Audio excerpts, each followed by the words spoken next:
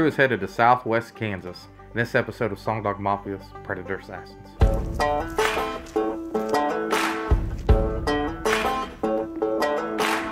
We're headed to the largest public land in Kansas.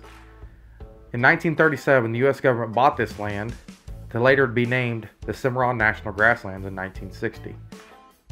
Up until around 1885, the American bison was hunted almost to extinction, but places like the grasslands that's protected helped that number come back up to almost 65,000.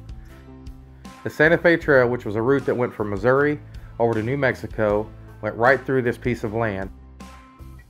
Travelers such as immigrants and traders used this trail very heavily in the 18th and early 1900s.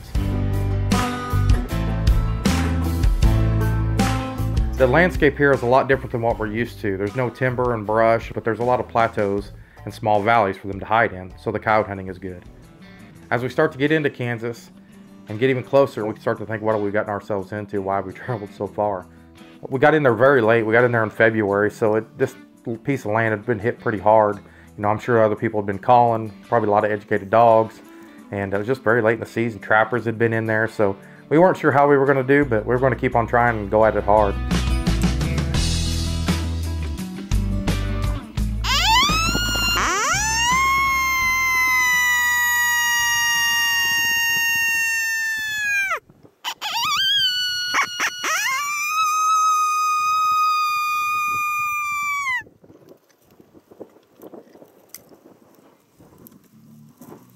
It's been kind of rough, been slow, and wind's blowing about 15 to 20 mile an hour, which we're not used to, and this terrain is awesome looking, but back home we look for a lot of brush and stuff, and out here there ain't nothing, so we're kind of having a tough time, but we're gonna keep after it and see if we can get one called in.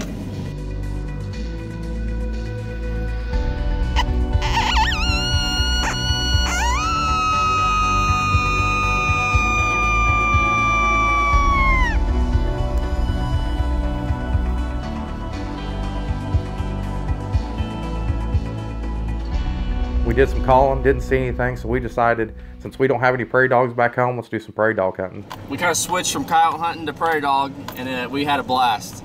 Having a lot of fun. Uh, i don't know we probably shot a dozen prairie dogs. Um, i don't know we're gonna keep after coyote hunting but if we see them prairie dogs we're gonna stay after them too. So just out to have a good time. Uh, hopefully this evening gets a little better. I know the wind's supposed to die down tomorrow too so hopefully it gets better So we ended up laying two dogs down on the first day. Uh, it was very tough calling. We didn't get them on film. Uh, the, the terrain didn't give it to us, but you know, when we take an opportunity to shoot a coyote, we're going to do it.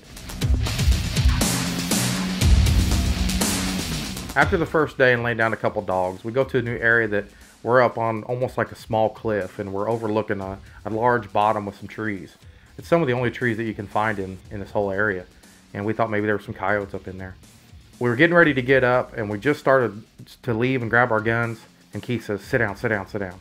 So I said, what? And he looks over and he says, we got a cat. So we look over to our left and sitting up on this hill watching us and no telling how long he was watching us was a beautiful bobcat. He was not worried at all, but he was really wanting to know what that sound was and where it was coming from. The sad thing about this is we had to let this cat walk. We were like less than two weeks out from the season ending in Kansas.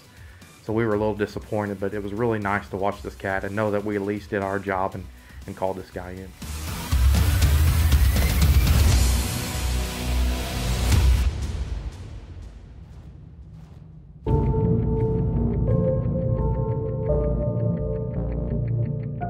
We wake up the next morning, we're ready to hit it again at daylight.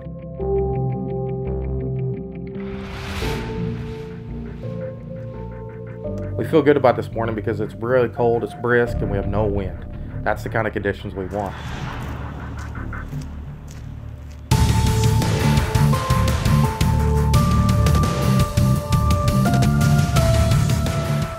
So we head to our first stand. We've got a lot of nice rolling hills. It's a lot different terrain than some of the other parts we've seen. We get off and we start out with the Reese Outdoors Buffalo Horn Howler.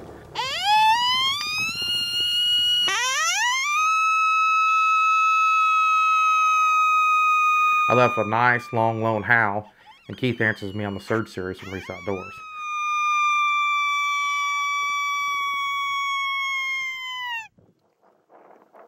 And we get responses all around us. And then the next thing we know, we got two groups going off. We got a group to our right and a group to our left.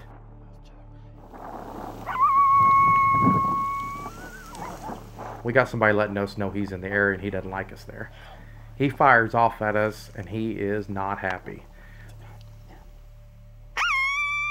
So we do it again. We do give him another quick one. And then lo and behold, he fires off again. And this guy was moving in fast.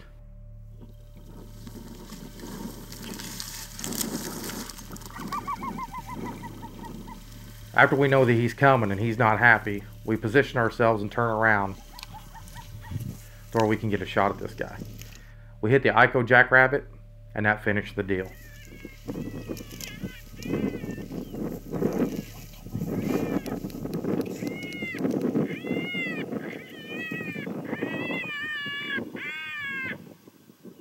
He came in on a mission. This guy was determined to see who was in his area.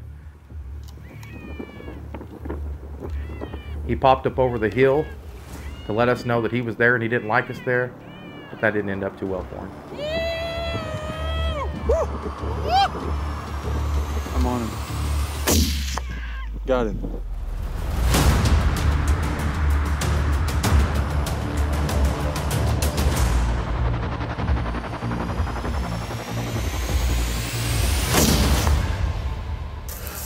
Not a real big dog, but uh, Nope. We got a male, female, another male. yeah. Uh, that's our third one of the trip, isn't it? Yeah. Keith got two of them uh, yesterday. It's been kind of a slow start, but uh, you know we come in here kind of late season, kind of to be expected. But, Uh, Pretty easy setup this morning. Came out here early. Uh, used some Reese Outdoors, the new uh, Buffalo Horn Howler. You know, he, uh, him and Keith serenaded, and but uh, they answered right back. Came down the hill, and it was one of those deals that we couldn't get a whole lot of film of him because he was going to go down one of these big dips. You can see that hill behind us. He wasn't planning on circling us or anything. He was coming right for the Icotec we had that decoy going and he was coming right for it. So it was a, a now or never type of deal. yeah, we didn't hardly do any calling. He was, he was mad. He was coming in.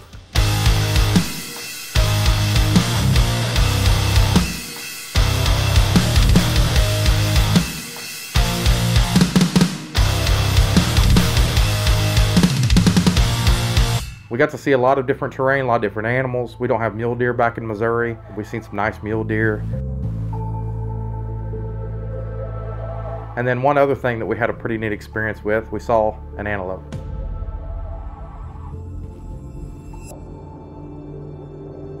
As we were traveling across this road, one started coming across the field and uh, he was bound to and he was going to beat us on the road.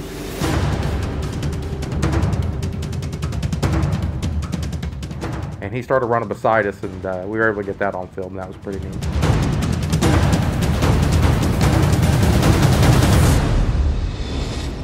It was a fun trip. We got to see all kinds of animals. It start it started out just a little little rough there yesterday. Yeah.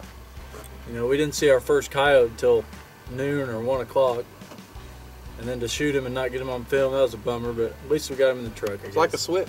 You Yeah. know, nothing for a day, and then all of a sudden, just they're everywhere. You know, And then we've four seen o'clock several. we started we seen probably six. Yeah, Did some prairie dog hunting in between. We don't have prairie dogs back in Missouri, so That was a that was fun for us to kind of take a break from the monotony of not seeing or killing any coyotes and get to do something we don't get to do every day. So we just stopped, took a break on that for a while. And It was worth the trip. Oh, definitely. The, the prairie dogs were that was a blast. You know, I don't know. That kind of makes me want to come back just to kill prairie dog. We picked this land in Kansas just because we like to get out of Missouri and see some different terrain and see some different calling areas. We wish we would have got in a little earlier. It was very late season. You know, it's probably been overcalled. It's it's probably been trapped. You know, there's probably been all kinds of people in there, but just nice to see some different area.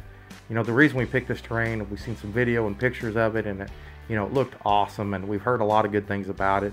We definitely hope to go back there again sometime, but a little earlier in the season, maybe have some more luck.